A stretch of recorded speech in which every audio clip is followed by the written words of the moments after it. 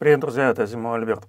Мы сегодня с вами поговорим о э, таком феномене, который называется изучение маркета недвижимости или изучение рынка недвижимости в США. Мне вчера при, опять позвонили люди, которые, ну, свежие иммигранты, и они э, говорят, о, Альберт, когда мы изучим, достаточно изучим рынок, тогда мы, наверное, займемся бизнесом, нам, наверное, нужен будет твой курс купить. Короче, мы, мы тогда в теме. Да? А сейчас, сейчас еще время не пришло, мы пока что изучаем рынок. И а, такие изучатели рынка, они, ну, каждый, каждый месяц у меня с ними разговоры бывают. Давайте я вам немножко расскажу правду об изучательстве рынка. А, есть примерно 5 или больше способов, которыми люди изучают рынок, и они думают, что они на самом деле изучают, что они получают какую-то ценную информацию.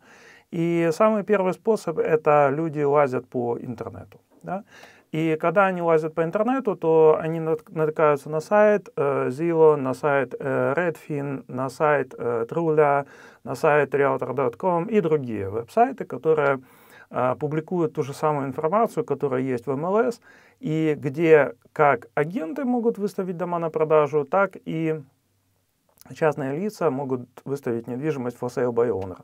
И, естественно, эти сайты дают изобилие информации. Там есть asking price, там есть э, картинки домов, там есть тренды, как цена какая была вчера, какая будет завтра, да, сколько э, времени этот дом стоит на продаже, эти сайты обычно не говорят, они, знаете, так умалчивают об этой информации. Или, допустим, мотивированный данный владелец или нет, э, эти сайты тоже не сообщают. Или, допустим, в каком состоянии внутри этот дом, ну, можно судить только по, по косвенным признакам, такие как фотографии. И весьма часто бывает ситуация, когда на фотографиях дом выглядит неплохо, но внутри это совершенно ужас. Или, допустим, еще какие-то условия, да. И э, к чему я здесь говорю, что когда вы видите дом через сайт, то чаще всего это вообще не то, что вам нужно. Более того, э, через веб-сайты вы видите только те дом, дома, которые кто-то поставил на листинг. И это ровно то, что нам не нужно для бизнеса. Еще раз, мы real estate инвесторы. Наша работа находить сделки с мотивированными владельцами с дисконтной ценой, с потенциальной прибылью. Да? Если вы видите, что дом поставил кто-то в интернет, на Zillow, э, на Zillow сайт, на другой сайт какой-нибудь, и поставил там for sale, либо for sale by owner, либо еще что-то, это уже означает, что кто-то думает о продаже этой недвижимости, возможно, уже продает не первую неделю, не первый месяц, может быть, даже не первый год. И нам этот человек не нужен. Нам нужны другие сделки, те, которые называются off-market. И off-market сделки это та основная area, с которой работают э, real estate инвесторы. Э, Заработа real estate инвесторов общаться с тем владельцем, который не надеется продать дом через real estate агента. Почему? Потому что есть ряд каких-то причин, которые его сдерживают. Поэтому, если вы новичок и вы пытаетесь изучать рынок э, путем ресерчивания через, через интернет, то вы видите только некую вершинку айсберга рынка. А нам нужно с вами работать с, тем, э, с той частью айсберга, которая находится под водой, которая называется off-market deals. Окей? Идем дальше. Второй способ, которым люди любят изучать э, рынок недвижимости, это езда. Это езда, езда, езда, езда. И давайте поразмышляем. Вы в Америке, э, вы сели на машину, э, как вы будете ездить смотреть маркет? Да? Вероятно, вы поедете в какой-то другой район или в другой город. Да? Вероятно, вы туда поедете по хайвею. Много ли вы видите недвижимости, когда вы ее едете по хайвею? Ну, вот слева и справа, да. Хайвеи обычно так построены, что между хайвеем и э, residential area есть некая буферная зона, это довольно большой кусок земли. Э, в Форде это чаще всего озеро, это может быть какой-то канал, это может быть сосновый лес, это может быть джунгли. То есть хайвей — это шумная э, как бы артерия, по которой едет, едут траки, они создают много шума, создаются автомобилями много выхлопных газов, и поэтому residential area обычно находятся подальше от хайвея. Поэтому вы ничего практически с хайвея не видите. Окей, допустим, вы съехали на дорогу, ну, которая называют стрит, да, и э, стрит — это в городах обычно дорога, справа и слева от которой находятся паркинг-лоты больших торговых центров. Находятся паркинг-лоты там U-Haul Storage, находятся паркинг-лоты э, каких-то разных коммерческих, э, не знаю, там Home Depot, Walmart, еще что-то. И вы опять же, когда вы едете по этой улице, вы по большому счету не видите дома. Если вы видите какие-то дома, то это обычно старенькие дома, которые построены в те времена, когда, примыкая к дороге, все еще ставили дома, обычные, обычные жилые дома обычных людей. Да? А в современной Америке самые приличные дома находятся где? Правильно, в сабдивиженах. И subdivision — это э, некий кусок э, земли, некий кусок территории, который построен, застроен одним билдером, одной компанией.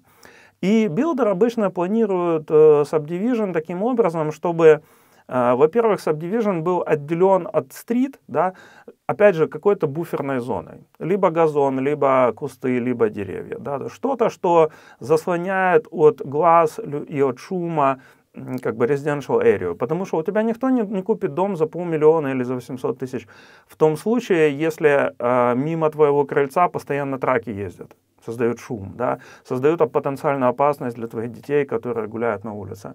Э, какие-то странные там криминальные личности, да, могут просто взять и зайти прямо к тебе на крыльцо, украсть твою посылку с Амазона. Поэтому люди, большинство, большинство людей в Америке, они живут в каких-то сабдивиженах. И когда э, вы проезжаете, то вы с улицы вы можете увидеть, допустим, въезд в subdivision. В хорошем subdivision въезд, э, въезд оформлен, ну, там могут быть ворота, там может быть э, какой-то пуст охраны, там может быть э, decoration какой-то с названием subdivision. И э, есть subdivision gated и не gated. Да? Не gated subdivision, это такой более старинный вариант, э, когда вы можете свободно заехать, сделать кружочек по subdivision, посмотреть дома, поохать, сказать, о, классно, классно, уютно, и выехать оттуда. Да? То есть, по большому счету, какую новую информацию вы получили? Практически никакой. То же самое Ашваназила. Вы посмотрели дома, вы посмотрели, да, прикольно, люди живут, но вы не получили никакой информации, которая действительно ценна для вашего бизнеса. Узнать среднюю цену за квадратный фут в этом районе вы можете через интернет. Не, не такая уж важная миссия, да. Но вы же не будете в сабдивижене останавливаться возле каждого крыльца и задавать каждому человеку живому, которого вы увидите, вы же не будете задавать вопрос, эй, эй, э, э, мистер, вы, вы, вы дом не хотите продать? Видите, это ну, как бы довольно странно, если со, совершенно рандомный человек останавливается и начинает спрашивать, не хотите ли вы продать дом. Он скажет, нет, а чего спрашиваете? Видите, это, это как бы немножко ну, не, не то, что мы называем изучение рынка. И, допустим, второй вид сабдивиженов, э, в которых находятся хорошие дома, скажем, там по миллиону, по два, по три, и вы видите, ага, на воротах стоит э, человек, который, когда вы заезжаете, он спрашивает, к кому вы едете, Скажите, пожалуйста, номер дома, фамилию человека, к которому вы едете. Он может внести просто ваши данные там, в систему. Либо второй вариант вас просто не впустят, потому что это gated community и access to this community only for the residents. That's it. Только для жителей данного комьюнити возможен въезд, а также delivery драйверов, которые там что-то доставляют, или для почтовых сотрудников.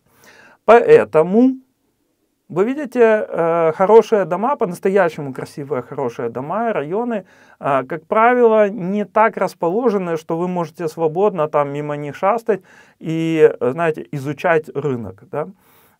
Есть один трик, э, вы можете попросить real estate агента знакомого повести вас в gated э, community, потому что real estate агент, он может э, договориться на шоуинг на какой-то дом в этом комьюнити, да, ну и заодно показать вам район. То есть это один из таких триков. А, дальше, давайте перейдем к real estate агентам. Да. С real estate агентами хуже всего. Почему? Потому что если вы, э, допустим, новый иммигрант, и вы думаете, так, кто бы знал о real estate маркете в данном городе больше всего? Конечно же, real estate агенты. Их а, довольные мордочки в галстуках или там в платьицах э, с э, вот такими вот губами и ресницами, они, они смотрят с каждого веб-сайта, каждой real estate компании, и они всегда готовы вам помочь. и вы думаете, вот, вот, вот кто мне покажет по-настоящему Америку. И вы звоните real estate агенту, и правильный real estate агент э, должен быстро в течение одной минуты иметь возможность э, поставить вас на определенную полочку в своей голове. И там, в принципе, есть две полочки.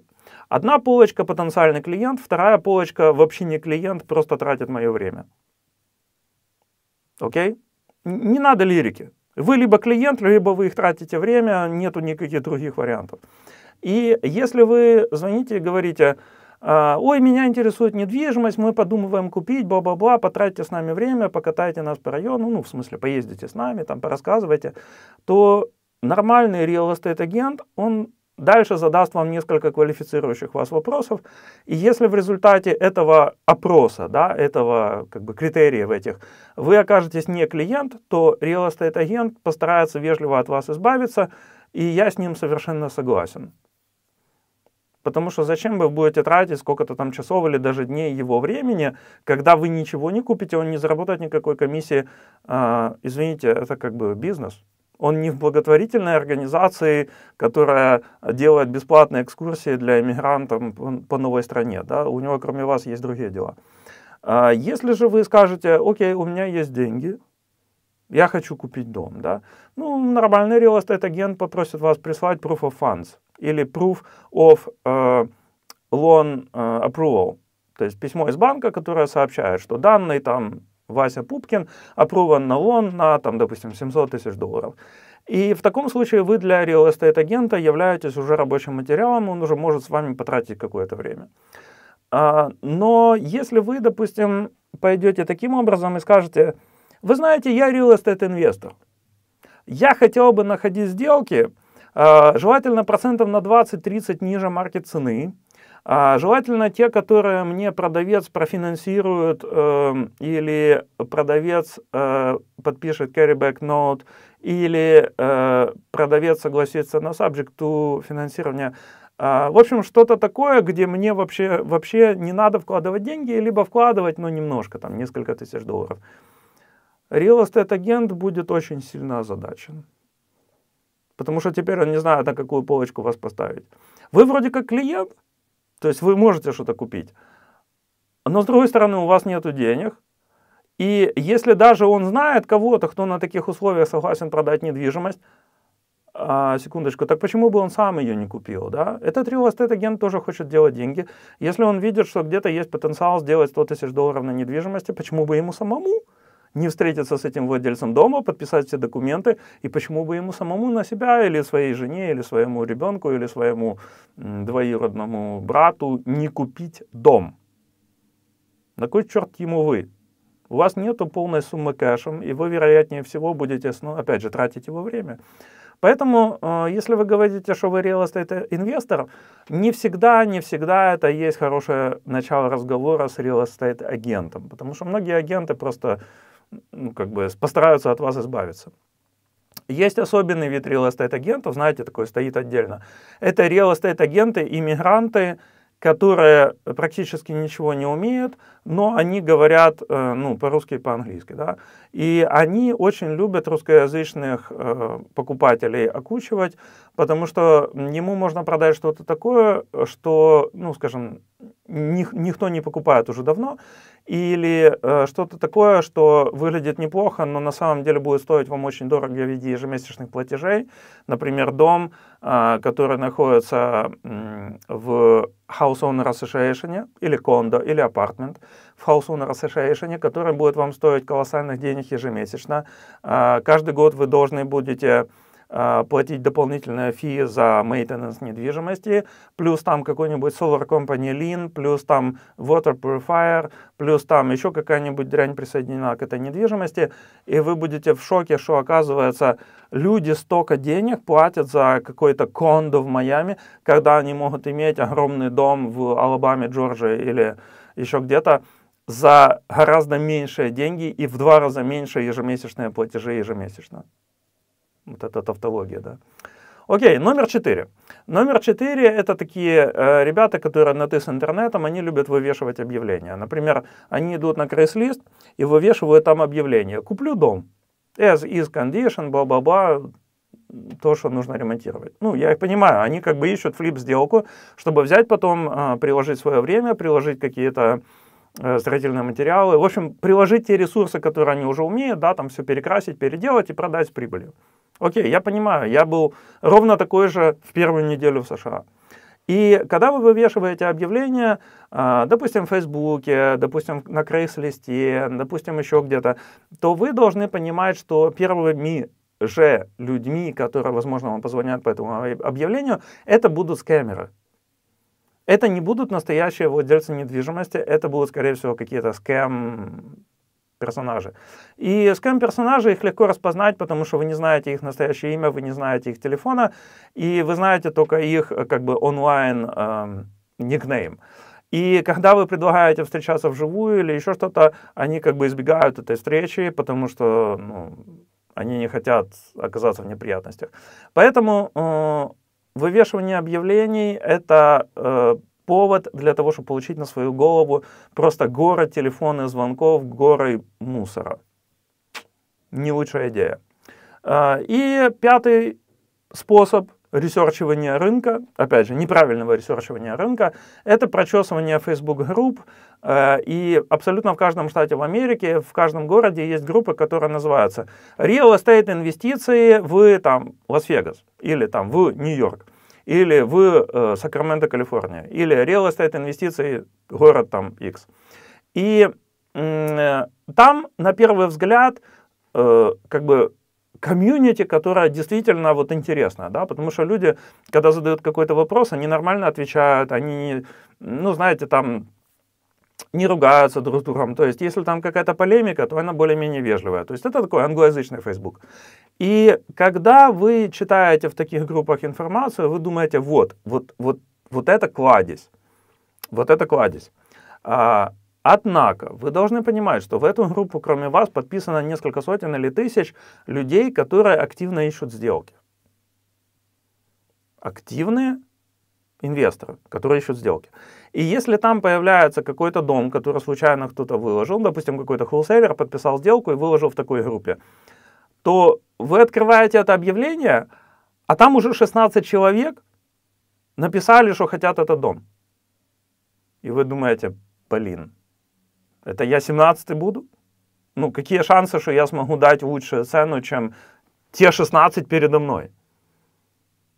То есть, понимаете, в этих группах собрались ровно все те люди, которых, встречи, встречи с которыми вы стараетесь избежать, потому что они ваши конкуренты. Они в вашем городе, они в вашем каунте, они в вашем штате тоже ищут дома и тоже ищут сделки. То есть, видите, и вы, э, пытаясь с ними проводить какое-то, ну, время, или, может быть, попытаться дружить с ними, да, дружить, то вы, по сути, тоже тратите время совершенно бесполезно. Сделки вы оттуда не получите. А, ну, может быть, заведете каких-то знакомых по интернету, но э, кака, результат от этого знакомства? Ну, допустим, вы попили с ними кофе. Окей. А какой результат? Он вас может познакомить со своим real estate агентом. Ну, не бог весь какое приобретение. Он вас может познакомить со своим моргидж-брокером. Ну, как бы он вам тоже нафиг, он вам нужен, если вы не используете банковский лон для покупки дома. А, он вас может познакомить, допустим, с каким-то контрактором. Ну, от этого уже хоть какая-то польза есть. Будете знать, кому звонить, если розетка не работает. А теперь давайте поговорим о том, как действительно правильно research ить рынок. Research ить правильным способом. Да? А, отправить тысячу маркетинговых посланий и получить пару звонков. А лучше 3000 маркетинговых посланий. А лучше 5000 маркетинговых посланий. Это будет правильный research рынка. Почему? Потому что если вы отправили это по правильным спискам, я именно этому обучаю на занятиях, как получать эти списки мотивированных владельцев, то из них найдется пара-тройка людей, которые вам позвонит, вы поедете, встретитесь с ними, и это будут настоящие оф-маркет э, сделки, ну, обычно. Э, этих домов нету на Zillow, об этих домах не знают real estate инвесторы, об этих э, домах не знают real estate агенты. И сам владелец будет готов э, подписать с вами довольно легкую сделку, в которой вы, допустим, покупаете, э, дом стоит 500, вы его покупаете за 360, из них 34 тысячи кэшем. Все остальное это существующий mortgage, который вы наследуете с этим домом. Вот, видите, вот это правильный research рынка.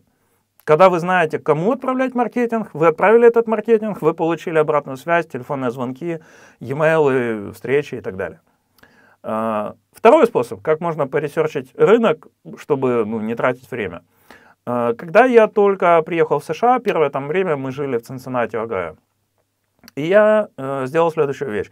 А, я познакомился с американкой, которая живет, ну, там, 40 лет в Цинциннате. И я говорю, можно вас пригласить на кофе, я хочу там позадавать вопросы, потому что мы новые люди в Цинциннате, там все такое. Она говорит, да, без проблем. И, значит, мы сели в Старбаксе, положили на стол лист бумаги, и я говорю, смотрите, э, моя идея это, ну, найти себе первый дом, но найти его недорогой, потому что у моей семьи нету там больших денег. И э, мне нужно знать, какие районы Цинциннати хорошие, какие как бы средненькие и какие вообще плохие криминальные. Я положил на стол э, распечатанную на принтере просто карту города, и мы сидели и на этой карте города рисовали, что ага, вот это вот, там Шеронвилл там хороший, вот этот а тут возле downtown а тут похуже, вот этот вот, ну, неплохой там, там посерединке, вот этот вот э, там Дейтон, Огайо там не очень, и так далее, и так далее. То есть мы, мы э, я для себя каждую эрию там обвел как бы ручкой, заштриховал, там поставил какие-то свои пометки. И потом я повесил этот лист э, бумаги себе на стену. Когда я делал маркетинг, я еще там нанес э, границы зон zip-кодов. Есть сайты в США, которые вам показывают границы zip-кодов. И ваш город, вероятно, находится в 3, 4, в 5 zip-кодах, да, может быть в 20, если это большой город. И э, zip-код от zip-кода в ценах они отличаются. Границы между zip-кодами сильно влияют на... Также я нанес границы City Limit, потому что и в каждом городе есть City Limit, и есть за пределами City Limit. Недвижимость в этих э, эриях отличается. Также я нанес границы каунти, потому что некоторые города находятся на стыке двух каунти, некоторые даже на стыке, на стыке трех каунти. И разные каунти немножко по-разному как бы обслуживают э, документы. Также я нанес еще какую информацию, которую я потом, потом пособирал. И вот именно об этом я рассказываю на, на своем курсе, каким образом правильно ресерчить. Поэтому, когда я слышу от людей, э, которые еще не проходили мое обучение, и они говорят, Альберт, мы ресерчим рынок, мы, мы делаем исследования, то я понимаю, что они делают один из вот этих вот пяти ну, практически бесполезных видов деятельности, которые, ну, кроме того, что дадут вам просто впечатление, да, того, что вы много драйвите по, по, по городу, знаете, смотрите налево, смотрите направо, и если мы, допустим, бы с женой бы это делали, то я, как водитель, я должен был бы смотреть на дорогу. Все, что вы можете найти в результате driving for dollars, это вы можете где-то увидеть sign э, на, на газоне, на котором написано for sale by owner, и вы можете записать адрес дома, допустим, или даже постучать в дверь и там поговорить. А, но, скорее всего, вы просто получите ту же информацию, которая есть на Zillow, потому что он на Zillow поставил for sale by owner свою недвижимость. Изучение рынка недвижимости – это на самом деле фикция. Это фраза, которой люди пользуются просто, чтобы самих себя а, убедить, дать себе ложное такое, знаете, ощущение, что они что-то полезное делают. А на самом деле нет. На самом деле, чтобы что-то полезное делать, нужно сначала в голову получить а, информацию, что именно нужно делать, с кем конкретно нужно контактировать и откуда брать информацию, э, данные о недвижимости. И это не сайт Zillow. Всем пока, увидимся в следующем видео. Okay, ребята, если вы заметили, э, на моем канале вы никогда не увидите рекламу, которая вылезает в самые неподходящие моменты видео. И э, на моем канале вы никогда не увидите линков, где я клянчу от вас какие-нибудь деньги, какие-нибудь донаты или еще что-нибудь такое. Я просто этим не занимаюсь. Если вы считаете, что информация о бизнесе, о недвижимости, об инвестициях здесь для вас ценно, поставьте, пожалуйста, просто лайк под видео. Это будет ваша оплата мне за а, какую-то работу, которую я делаю для того, чтобы создавать данное видео. И не забудьте посмотреть еще пару видео на этом канале, потому что следующее видео может оказаться о том, а, как вы станете миллионером. Почему бы нет? Всем пока.